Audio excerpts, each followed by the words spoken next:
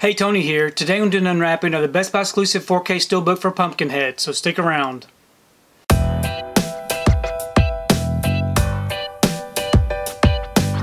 So I received my order for Pumpkinhead. This right here is the Best Buy exclusive 4K Steelbook.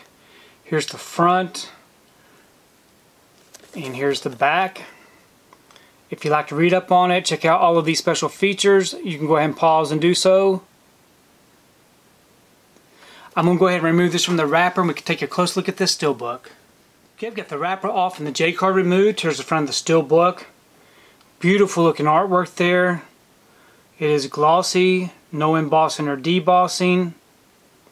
And then here's the back. Really nice looking image. We open it up.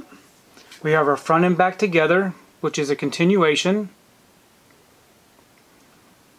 On the inside, it does not come with a digital code, but we have our two discs. We have our um, 4K disc here with some disc art. And we have our Blu-ray disc with different disc art.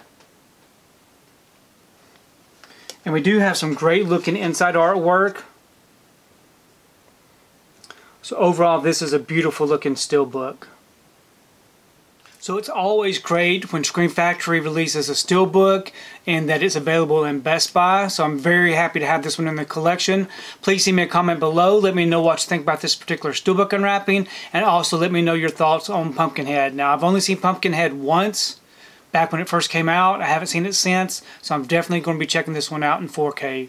If you like what you saw here today, please give it a thumbs up and share the video. If you haven't subscribed to my channel, I would really appreciate it if you would subscribe. If you do subscribe, please remember to hit that notification bell so that you can be notified every time I upload a new video. If you haven't found me on my social media accounts, I'm on Instagram, TikTok, and on Twitter. And if you'd like to find out what I've been watching, you can find me over on Letterboxd. I do have links below. But thanks again for watching, and we will see you next time.